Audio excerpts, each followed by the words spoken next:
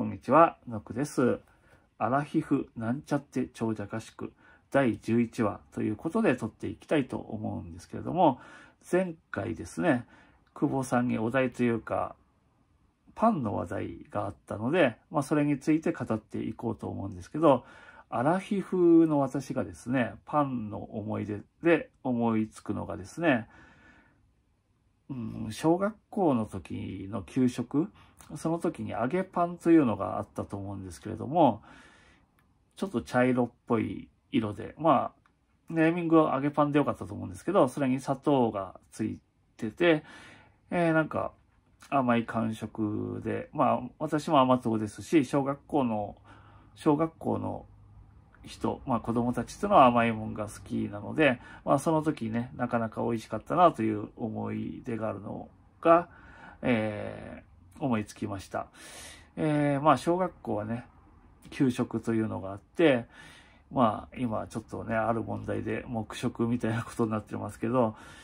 小学校の給食っていうと、あとですね、牛乳瓶というのも思い出しますね。当時は牛乳瓶だったんですよ。確か私が小学校ね、5年生ぐらいの時に、えー、パックの牛乳に入れ替わったのを覚えていますね。まあ私たちのね、アラフィフの時代というといろいろなものが、まあ進化して変わっていったのを目の当たりにどんどん見ていった世代かと思うんですよね。パソコンなんかを見ていても、この10年ぐらいの流れで言うと、まあ、容量が大きくなったり、えー、カメラのね、性能が上がって、まあ、今携帯についてますけど、画素数が上がったりとか、まあ、動画が撮れたりとかっていうのはあるんですけれども、根本的に技術が発達したかというと、どちらかというとスピードが上がったり、容量が上がったり、えー、画像が綺麗になったりということで、全く新しいものがくっついたっていうのは、少なかったかなと思いますね。えー、私たちが昭和、平成っていく中ではですね、まあいろんなものが発明、進化していったなと思いますね。前に出したレコードプレイヤーから CD プレイヤーみたいな感じで、まあそんなことをね、ふと思ったんですけども、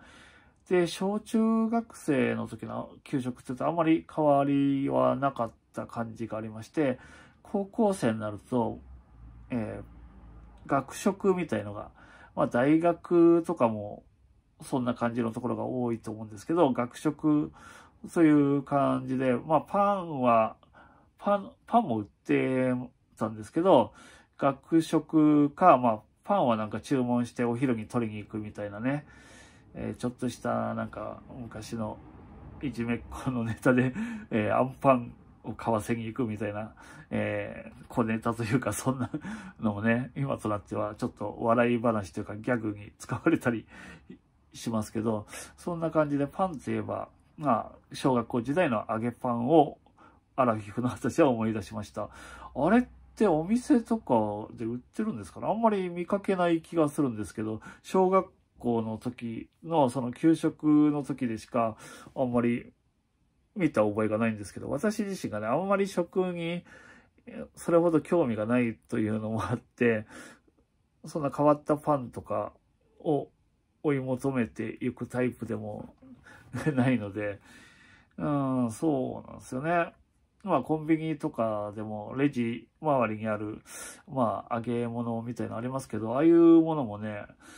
まあ、決まったものしか食べないみたいな感じで、何があるかっていうのは詳しくあまり知らない感じで、ファミリーマートのね、何でしたっけ、えファミチキとかは食べますけど、あと、前はポテトがあったんですけど、最近ないですよね。な、なくなっちゃったんですかね、ファミ、ファミリーマートのポテトって。えー、なので、それぐらいしかね、コンビニのレジ周りの食べ物も把握してない食に疎い私という感じなんですけれども、だから揚げパンは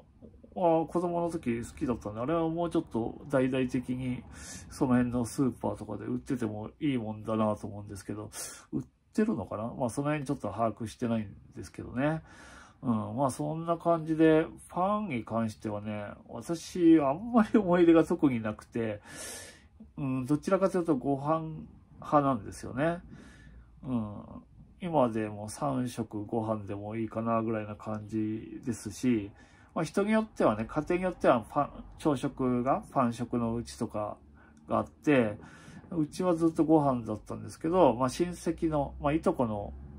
お宅に、まあ、泊まりに行くみたいなとこがあって、その時はね、そのうちはパン食、パンとコーヒーみたいな感じでしたけど、まあやはり、うん、日本人はご飯のが合うような気がするんですけど、皆さんはどうですかね？私はそんな風に思います。それではご視聴ありがとうございました。失礼いたします。